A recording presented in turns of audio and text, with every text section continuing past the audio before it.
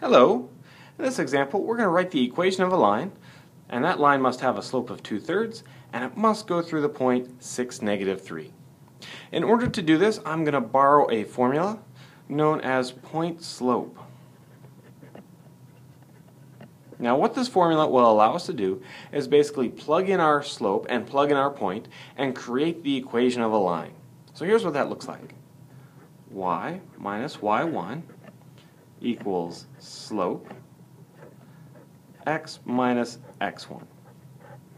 Now even though there's lots of stuff flying around in here, we're only going to plug things in for the y1 and the x1 and also for the slope.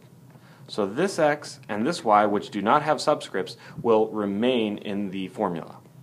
Okay, so let's give this a try. I'm going to replace y1 with the y coordinate of my point. In this case, a negative 3. I'm going to replace the slope with my given 2 thirds.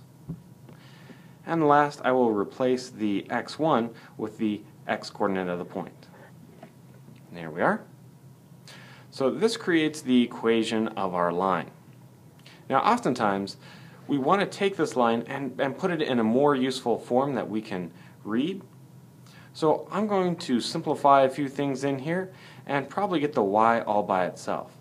This will put it in what is known as a slope-intercept form. Okay, so let's start simplifying.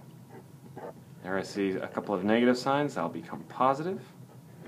And that two-thirds, as long as it's outside the parentheses, I'm going to go ahead and distribute it inside the parentheses.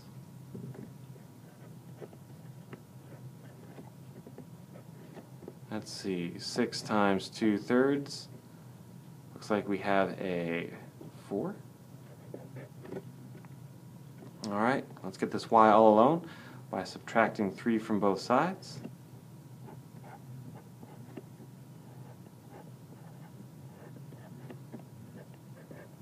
And there you have it. So our line that has a slope of 2 thirds and definitely goes through the point 6, negative 3 is this equation down here. y equals 2 thirds x minus 7. If you'd like to see some more videos, please visit mysecretmathtutor.com.